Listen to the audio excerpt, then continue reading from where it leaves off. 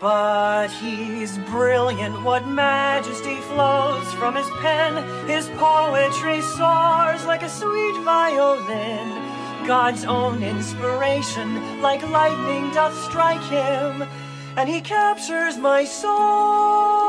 Ah, jeez, you sound just like him. Really? Thanks.